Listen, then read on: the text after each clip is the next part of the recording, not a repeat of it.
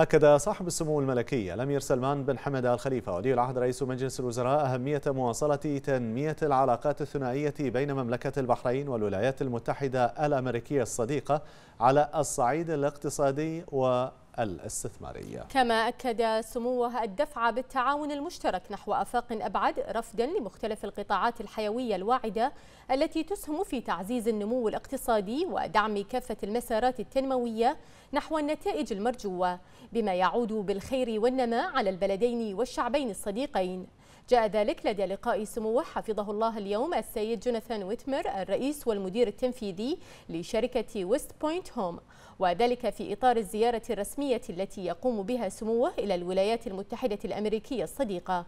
حيث نوه سموه بدور قطاع الصناعة في رفد الحركة التجارية والاقتصادية ضمن مسارات التعاون الثنائي القائمة بين البلدين الصديقين وأهمية البناء على ما تحقق من تنسيق أسهم إيجابا في تقوية العلاقات الاستراتيجية.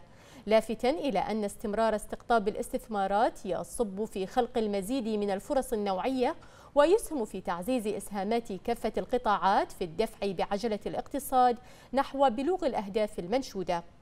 وأضاف سموه أن مملكة البحرين حريصة على رفع مستويات التبادل التجاري مع دول المنطقة والعالم مشيرا إلى ما أسهمت به اتفاقية التجارة الحرة بين مملكة البحرين والولايات المتحدة الأمريكية. وتدشين منطقة التجارة الأمريكية في المملكة من تعزيز لمختلف أوجه التعاون الاقتصادي المثمر.